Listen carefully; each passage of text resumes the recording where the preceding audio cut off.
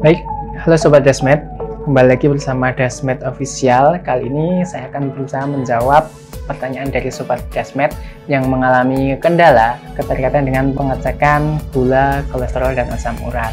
Yang mana ketika melakukan pengecekan kolesterol dan pengecekan gula, ini menunjukkan hasil angka yang seharusnya ditunjukkan ataupun dikeluarkan oleh hasil untuk pengecekan asam urat dan ketika melakukan pengukuran asam urat maka hasilnya adalah angka yang seharusnya ditunjukkan untuk pengukuran gula darah.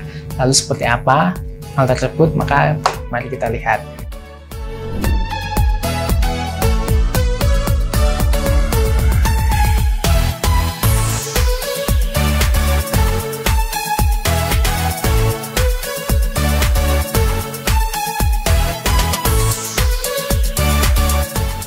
kita masukkan chip untuk gula. Maka kita lihat memori atau historinya. Maka di sini nanti nah di sini akan terlihat ya sobat Resmet jadi 4,7 di sini adalah satuan untuk pengukuran asam urat ya seperti itu. Maka lalu kita coba ganti dengan chip kolesterol maka seharusnya berapakah untuk si kolesterol itu? Nah maka yang keluar sama 4,2 dan selanjutnya 4,0 dan selanjutnya 4,6 nah dari histori tadi adalah sesuai pengecekan yang sudah dilakukan oleh uh, Sobat Dasmet yang mengalami kendala ini. Lalu bagaimanakah solusinya? Nah nanti kita coba kita sampaikan.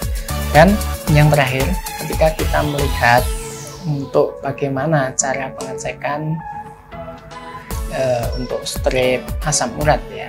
Ataupun pengecekan asam urat maka seharusnya satuannya adalah uh, ini tadi ya. Kita melihat di kisaran 4,4 sampai 6,6 itu ukuran normal untuk pengecekan asam urat. Maka ketika kita melihat histori di sini ya yang sudah sobat lakukan adalah 202. Nah, ini adalah angka yang seharusnya dimiliki oleh pengukuran uh, gula darah seperti itu ya. Jadi normalnya di kisaran 102 sampai 138 seperti itu. Nah, sehingga ketika hasil ini tidak sesuai, maka apa yang salah? Kan seperti itu. Maka mari kita tunjukkan kepada para sobat dasmet ya.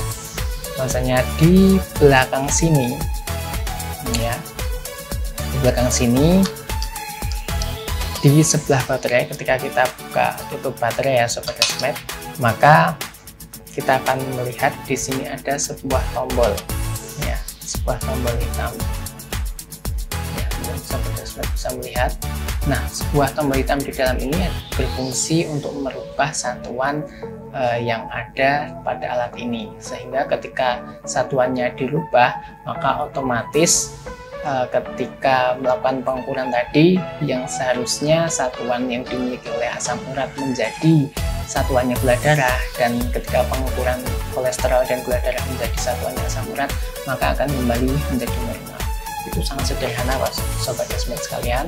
Bisa kita melepas baterai terlebih dahulu atau mungkin kita bisa menggunakan alat bantu seperti uh, pulpen ataupun benda lain yang bisa untuk uh, menggeser tombol yang ada di dalam. Jadi tombolnya tinggal kita geser karena ini ada di sebelah kanan. Maka coba kita geser ke sebelah kiri ya sobat dashboard nah sudah kita geser ke sebelah kiri. Ketika kita lihat hasil selanjutnya. Ya, sobat dashboard sekalian maka coba kita masukkan lagi ya untuk cek gulanya. Nah, kita lihat histori apakah masih sama? Satunya 4, sekian tadi atau sudah berubah kita lihat. Ya satunya sudah sudah menjadi MGDL ya. Nah 85 jadi sudah berubah satuannya para sobat dasmet semuanya. Dan selanjutnya kita lihat lagi untuk yang lain kita makan dulu.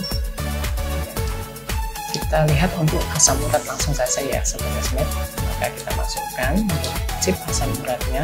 Dan kita lihat apakah satuannya masih sama seperti satuan gula darah Mari kita lihat dan hasilnya adalah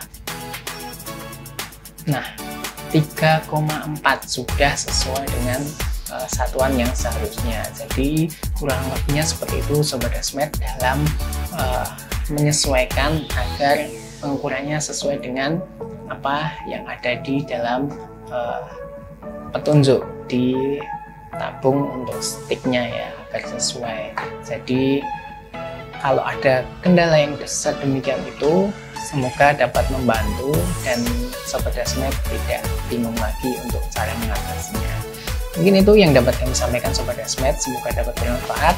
Terima kasih dan selamat beraktivitas. Semoga sehat selalu